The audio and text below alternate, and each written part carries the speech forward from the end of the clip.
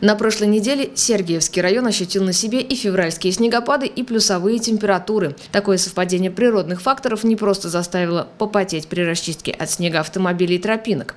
Кое-где ситуация повлекла за собой большие убытки и восстановительные работы. Крупные шапки мокрого снега стали слишком тяжелым грузом для кровли одного из магазинов в центре Суходола. И в субботу и в воскресенье на этой кровле шли работы по разбору железных завалов.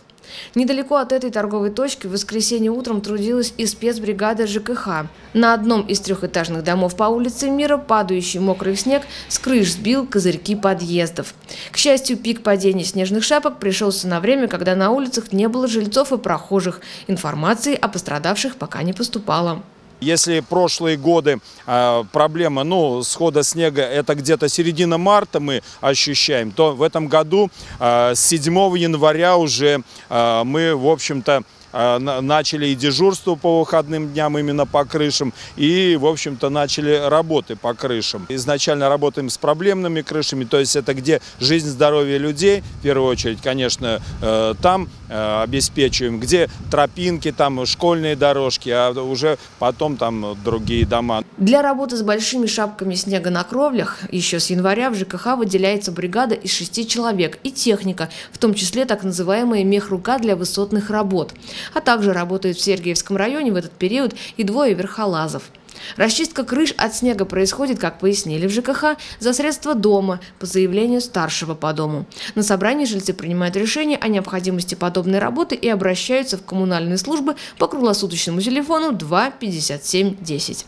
Нужно помнить, что такую работу необходимо проводить особенно, если сход снега угрожает линиям электропередач или иным коммуникациям, входящим в дом. Именно проблемные крыши, где э, сход там обычно происходит, я, я же вот говорю, где-то над, э, над тропинками, где люди ходят, или это там, там уже в первую очередь мы выезжаем, если даже заявок нету. 16 февраля аварийную ситуацию создал мокрый снег на крыше дома номер 81 по улице Ленина в Сергиевске. Снежная масса просто продавила стропила и обрушилась на дом, разрушив часть кровли. Это случилось после обеда в субботу, рассказывают очевидцы. Ну, я вчера вот сосед вот этого видел, дрел.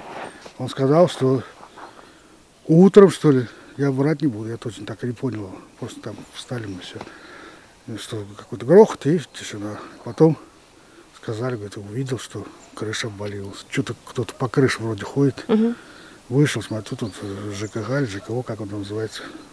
Три человека снег скидывали. Потом трактор приехал, тут чистил все.